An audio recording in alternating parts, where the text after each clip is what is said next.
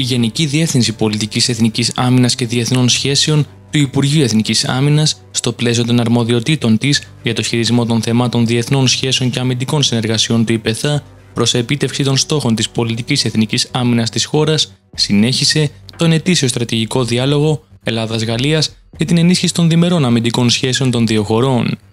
Συγκεκριμένα, αντιπροσωπεία στελεχών των Γενικών Διευθύνσεων Αμυντικής Πολιτικής των Υπουργείων Άμυνας της Ελλάδας και της Γαλλίας, με επικεφαλή στο Γενικό Διευθυντή, Δ. Κωνσταντίνο Μπαλωμένο, και τον Deputy Director Vice Admiral, Κριστόφ Λούκας, την Τετάρτη 20 Σεπτεμβρίου 2023, στην αίθουσα Ιωάννης Καποδίστρια του ΙΠΕΘΑ, πραγματοποιήθηκαν διμερείς διαβουλεύσεις στο πλαίσιο του τρίτου στρατηγικού διαλόγου Ελλάδα-Γαλλία.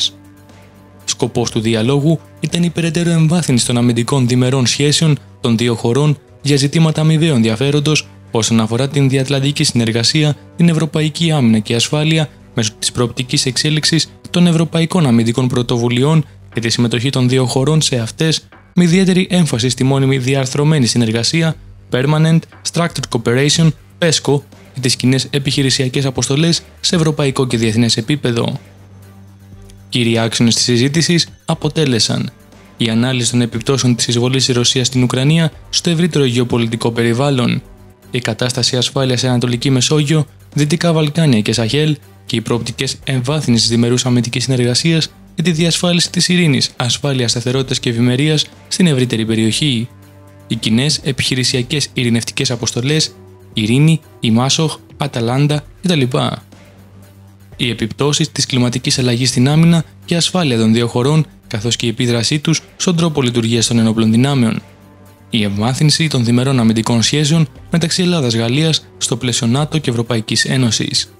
Μετά την ολοκλήρωση των διμερών διαβουλεύσεων, οι δύο αξιωματούχοι, αναγνωρίζοντας τη σημασία της διμερούς αμυντικής συνεργασίας στην ευρύτερη περιοχή της Ευρώπης, των Βαλκανίων και της Ανατολικής Μεσογείου, συμφώνησαν στη χάραξη κοινού προγράμματος δράσης στο πλαίσιο των αρμοδιοτήτων τους.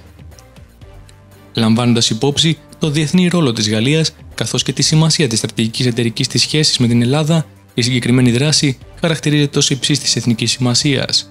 Καταλήγει το δελτίο τύπου της Γενικής Διεύθυνσης Πολιτικής Εθνικής Άμυνας και Διεθνών Σχέσεων του ΙΠΕΘΑ.